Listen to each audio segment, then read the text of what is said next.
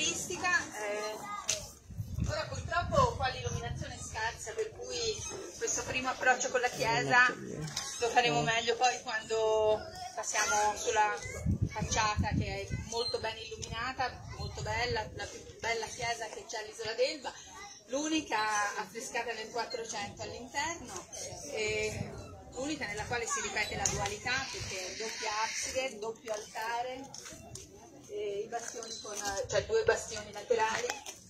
E è stata un pochettino mutilata per, uh, quando è stata inglobata dalla fortezza a causa delle incursioni dei pirati. E, um, facciamo un passo indietro, vediamo che nello scacchiere europeo l'Italia è sempre uh, nelle mire delle cupidigie dei paesi europei, soprattutto in quel periodo, soprattutto due paesi, soprattutto la Francia e la Spagna.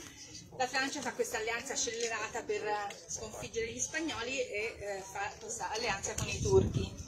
E quindi ci sono tantissime incursioni sia eh, nell'arcipelago toscano. Pianosa, l'isola d'Elba vengono vandalizzate e quindi si decide di proteggere la chiesa costruendo questi bastioni e chiaramente eh, questo ha comportato l'arretramento delle due absidi che sono state tamponate. Eh, questo poi magari se alcuni di voi vogliono entrare, purtroppo oggi siamo molto numerosi e poi con le nuove normative diventa difficile entrare in chiesa, quindi sono molto dispiaciuta, non vi posso spiegare gli affreschi che sono molto belli, però vi consiglio di entrare, se non oggi magari in un'altra occasione che venite, ne vale veramente la pena. Pensate che la fortezza, ehm, i bastioni della fortezza poi quando dopo la guerra non si riusciva, ci sono stati no? questi problemi di capire a chi appartenevano le proprietà, eccetera, poi mh, ci sono state varie passaggi di proprietà, usucapione, eccetera, eccetera, e sono privati cioè sono stati privati a lungo, questo qua di destra è ancora privato, c'è praticamente una officina di un meccanico, eh, l'altra eh, avevano deciso di fare un museo, sapete che là c'è il MUM, ci sono anche alcune guide che ringraziamo che ci aiuteranno ad andare su ai Sassiritti che eh, insomma siamo in tantissimi, quindi il museo, il MUM che è là, eh, qua ci doveva essere anche una, una, parte del museo, purtroppo poi per problemi legati a permessi e quant'altro i lavori sono stati interrotti, ma pare che adesso a breve forse il progetto potrà riprendere corpo e quindi qua ci potrà essere un dislocamento del museo.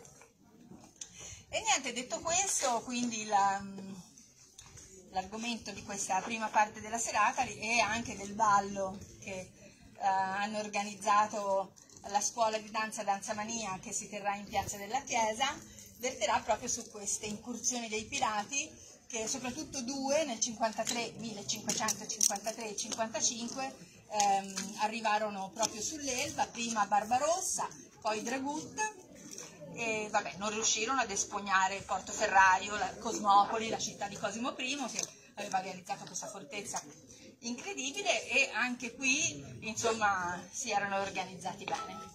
Per cui a questo punto lascio la parola a, al nostro Angelo Mazzei Bravo. oltre alle sue numerose doti, è anche eh, responsabile del Museo Archeologico di Marciana, quindi se volete poi riascoltarlo. No, no, abbiamo dei dubbi sulle altre eh. doti. Bravo. Va bene, grazie. Buonasera. Facciamo così.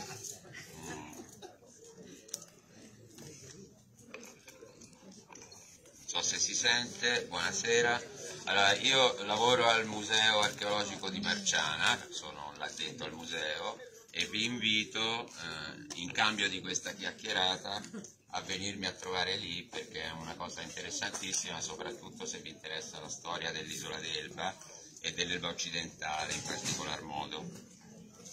Sono appassionato soprattutto di storia pre-romana, quindi mi piacciono e studio tantissimo gli Etruschi e le civiltà che li hanno preceduti. In questa occasione mi presto a Valérie eh, per raccontarvi quello che è successo in questo periodo storico che lei vi ha, vi ha accennato. Farei intanto chiarezza sul concetto di pirati. Quello che succede all'isola d'Elba fra 1534 e il 1553 e anche 55 è eh, non un attacco di pirati, ma una guerra tra imperi eh, in una eh, diciamo, piccola testimonianza di questa grande guerra tra due imperi che si dividono il mondo e eh, non sono pirati, attenzione, ma sono corsari. Questi corsari si differenziano dai pirati perché i pirati battono bandiera propria, eh? sono indipendenti. Invece il corsaro è quello che ha una lettera di corsa dell'imperatore o del re e di conseguenza è autorizzato, appoggiato da un governo anche a battere la sua bandiera e eh, a differenza del pirata che se viene catturato viene giustiziato, lui viene piuttosto usato come merce di scambio nelle trattative tra gli stati. Questo fenomeno dei corsari che si sviluppa agli inizi del Cinquecento in tutto il Mediterraneo ha soprattutto la sua radice tra una popolazione poco conosciuta ma che ha una lunghissima storia che sono i berberi, detti anche in quell'epoca i barbareschi. I berberi abitano tutta una zona che va dalla Libia, da Tripoli, uno dei loro porti importanti che gli veniva poi continuamente strappato dagli imperi europei, dall'impero europeo, e eh, eh, Tunisi, eh, Algeri e Orano, che sono tutte delle città sulla costa africana del, del Maghreb. Il, il, grande conflitto è quello tra Carlo V, che è il re di Spagna, che è imperatore eh, discendente dalle nobiltà di Paesi Bassi, Polonia, Austria, addirittura fra i suoi antenati ci sono i visconti di Milano, quindi ha, ha diritto a una serie di titoli infiniti. L'unica parte che non copre è la Francia, è la Francia con la quale poi tra l'altro è imparentato perché Francesco I, che è il re di Francia in quel periodo, è legato a lui, poi in seguito anche diventa suo cognato e è legato a lui anche tramite l'Austria, no? sono cognate anche le nonne Luisa di Savoia e Margherita d'Austria, che segneranno poi quella che sarà una pace storica che durerà pochissimo, ma sarà storica per il fatto che saranno le due nonne che faranno questo trattato di pace che metterà d'accordo il Regno di Francia e l'impero. Però Francesco I eh, ogni volta eh, i trattati sono fatti per essere rotti e ogni volta succede che Francesco I stabilisce delle alleanze con altri che non siano l'impero per difendersi anche dal strapotere di Carlo V. E la grande alleanza che stabilisce è con l'impero ottomano che è un altro impero enorme che va dal Mar Caspio all'Oceano Indiano fino allo Yemen e contiene in sé tutto, tutti i paesi arabi fino all'Egitto, il Sudan, eccetera, e che è in quell'epoca eh, eh, praticamente il suo sovrano è Solimeno, Solimeno il Magnifico. Cosa fa Solimeno ottomano? Assolta e quindi fa una lettera di corsa a tutti questi pirati del Mediterraneo e del Maghreb che entrano praticamente a far parte della sua flotta.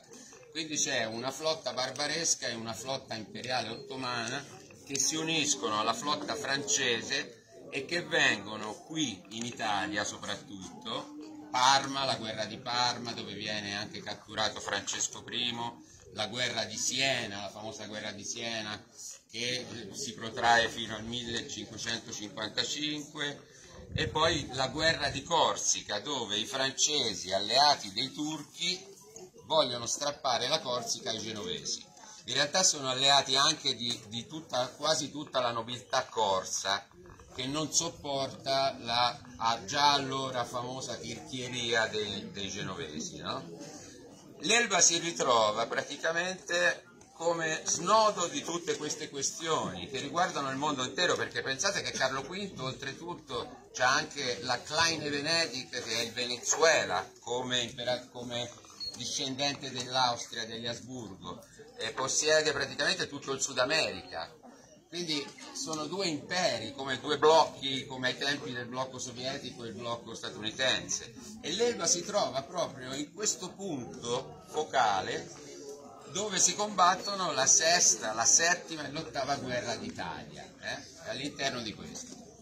Allora, sarò brevissimo, finisco con quello che riguarda invece più prettamente l'isola d'Elba, perché nel 1534 c'è il primo grande attacco all'isola d'Elba da parte della flotta turca che sbarca a Rio, Rio Marina che allora era la piaggia del paese grande che stava a monte Rio, e un paese ancora più grande che oggi voi non potrete purtroppo più vedere, che si chiamava Grassera e che era accanto a Rio.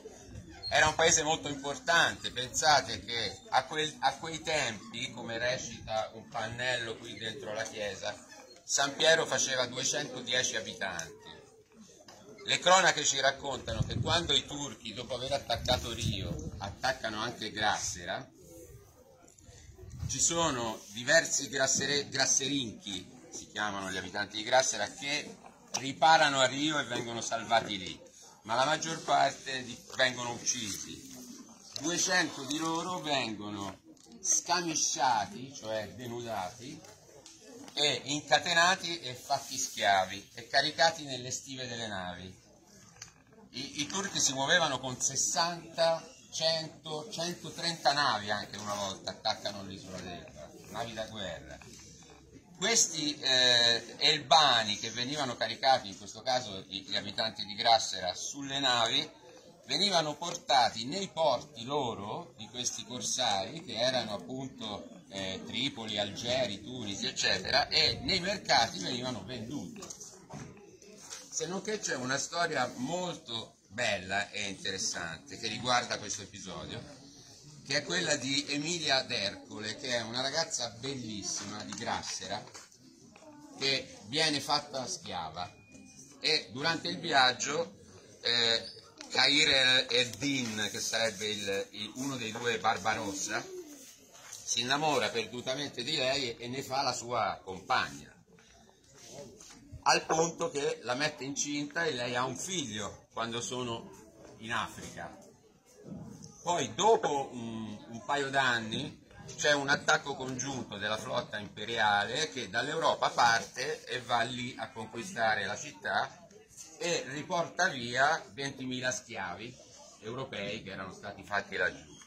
Tra questi c'erano anche 200 grasserini, c'era anche Emilia d'Ercole, questa ragazza, e c'era però anche il suo bambino. E quando arrivano, eh, Jacopo VI Appiani d'Aragona, che era il signore di, di Piombino, saputa questa notizia che gli schiavi tornati dall'Africa non erano solo albani, ma c'era anche il figlio di Barbarossa tra loro, lo prende e lo tiene protetto in ostaggio dentro Piombino e da lì parte quella che poi storicamente è il famoso assedio di Piombino da parte di tutta la, questa flotta di barbaresca. Eh, alla fine purtroppo dopo vari tentativi dei turchi alla fine Jacopo cede perché pi piuttosto che vedere tutto distrutto restituisce questo bambino che verrà educato all'Islam invece che al cristianesimo. La storia però va avanti con ripetuti attacchi e stragi. Quando arrivano si dice che abbrusciano, barano le case, buttano giù i tetti delle chiese, buttano giù le porte, levano l'onore alle figliole. Questa era una cosa orribile, quello che facevano i turchi quando arrivavano. Quindi rimaneva soltanto un fiume di sangue, tanto dolore, tanta disperazione, tutti avevano morti o schiavi nella loro famiglia e è paradossale, ma questa grande paura, e qui chiuderei con questo messaggio, questa grande paura non faceva che renderli più uniti tra loro, più solidali, più forti. È una cosa forse sulla quale dovremmo riflettere noi oggi che invece nella grande paura condivisa forse stiamo rischiando di dividerci. Grazie.